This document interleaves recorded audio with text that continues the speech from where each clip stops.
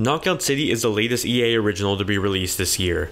It's a new wacky 3v3 online dodgeball game. It's filled with a ton of style and charm, with probably one of the best game launch strategies I've seen in quite a while. For $20 you can pick up the game on just about any platform, pick it up for free on EA Play or Game Pass, and it supports crossplay and voice chat on every platform. Needless to say, I was very excited to check this out, and boy did I have a blast. But before we jump into this review, make sure you hit that subscribe button and hit the bell icon to stay up to date whenever I put up another review. With all that said, let's jump into this review starting with gameplay, as there really isn't a story here. Knockout City is the second game from Velan Studios. You might have heard of their first game, Mario Kart Live. Their second game is primarily an online game, so you have to be connected to the internet in order to play, and sadly there isn't any local split screen. Instead, you'll connect online with either strangers or friends to compete in various dodgeball games. The idea of an online dodgeball game was a bit weird to me. It didn't necessarily catch my attention, but once I got my review copy earlier this week, I was immediately hooked on it.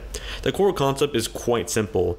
You play in groups of three as you take on another group of three in these small sandbox maps. Depending on the game mode, the objective changes, but ultimately they revolve around knocking out the enemy team with various dodgeballs around the map. What made the concept so interesting to me were the various mechanics that help flesh out the core design philosophy. After you create your customizable character, you're dropped into this training room, and from there you can practice various moves on a dummy unit.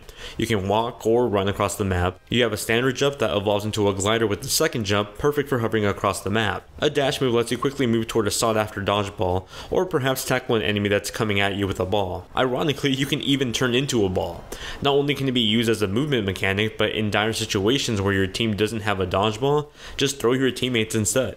Of course, that comes with the possibility of having your teammates get caught and thrown off the stage. There's a risk and reward there that's ever present but so thrilling to execute. When you do have a ball, you can quickly throw it or hold it down for a faster charge shot. What I loved was that there was also the ability to fake throw the ball. That comes in handy because at any point you throw the ball, the enemy can catch it if it's timed correctly. Faking them out is a fun way to really add tension to these moments, and in my time playing this week, led to many back and forth adrenaline filled moments that were some of the most memorable moments in multiplayer gaming for me this year. Adding a bit more chaos to these matches is the ability to throw the ball in either a curve or hoop motion on top of the traditional throw. These along with various types of dodgeballs make for some chaotic but joyous matches. There's your standard ball with no special effects, then the bomb ball that acts like a sticky bomb, the cage ball that traps the receiver in a trap, the sniper ball that feels like a football with an ACOG on it, the multi-ball gives you 3 balls in one, and lastly the moon ball, that not only adds zero gravity to the ball, but also to the holder as well. More balls and maps are planned for the future, but for the starting lineup, I was pretty happy and content with what Knockout City had to offer. In total, there are 5 game modes for launch, although like maps and the ball types, more are planned for the future. Team KO feels like the default mode, putting two teams of 3 against another team, in a race to get 10 KOs. The balance here feels well thought out, and I found myself actively coming back for more. The face-off mode is a streamlined version of the previous mode. This time it's a 1v1 race to get 3 KOs, perfect for anyone trying to settle a quick score with a friend. Diamond Dash is this game's version of Call of Duty's Kill Confirmed. As you take out opponents, you gather the diamonds that fall out of them in a race to collect 30 points. KO Chaos is a 4 player free for all where the race is to get 10 KOs first. Lastly, there's Ball Up Brawl, a mode where you're forced to only use your teammates as the ball. This was a fun twist on the gameplay as it required a lot more team coordination than any other game mode thus far. At launch, there's a total of 5 maps, each with its own unique designs and structures that change up the structure of the game. The Boba Cola stage, for example, features a bridge connecting the two sides of the map. It features a choke point in the middle where it's easy to get pinched while going after the dodgeball that spawns in the middle. At the same time, you're able to quickly glide across the map instead, but at the risk of being hit in the air.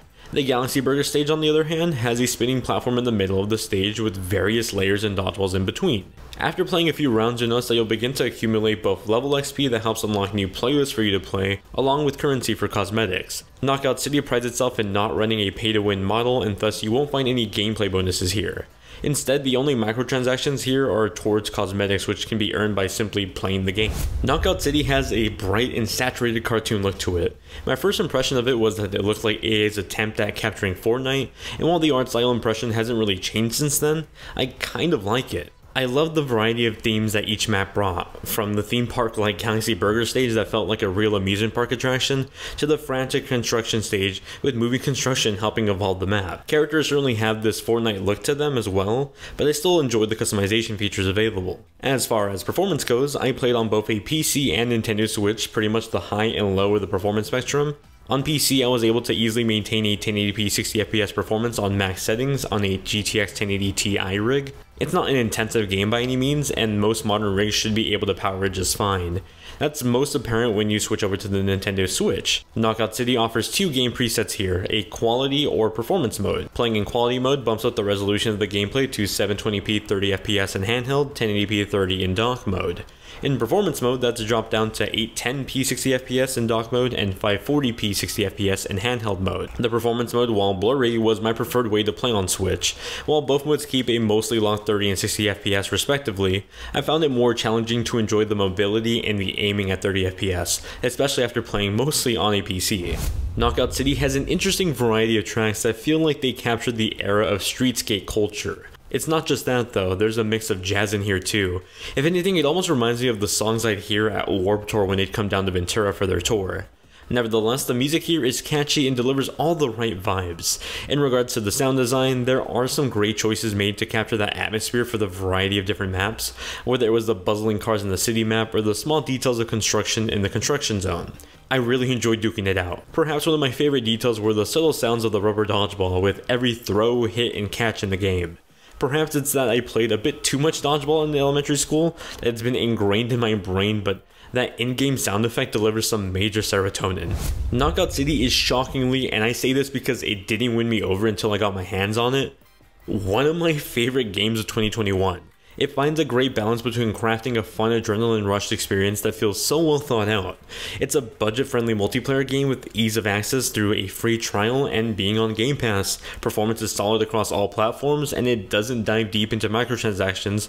And it's overall just a fun time without the toxicity of most modern online shooters.